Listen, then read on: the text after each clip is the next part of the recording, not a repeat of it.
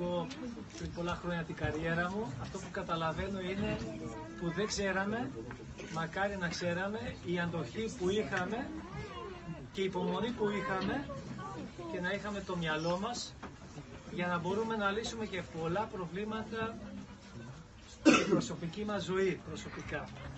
Ε, θα μας είχε βοηθήσει πάρα πολύ. Γι' αυτό σας λέω, από εδώ μαθαίνετε μαθαίνετε όχι μόνο ποδοσφαιρικά, προσπαθήστε να μάθετε όπως είπα και σε ένας προπονητής ε, που είχε κάποιο παράπονο να το πούμε τα παιδιά που είναι ε, δεν ακούνε δεν το ένα δεν το άλλο.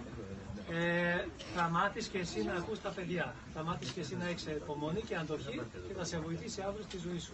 Έτσι και εσείς παιδιά να μάθετε όσο μπορείτε ε, εάν δεν προχωρήσετε ποδοσφαιρικά θα έχετε κερδίσει κάτι άλλο στη ζωή σας.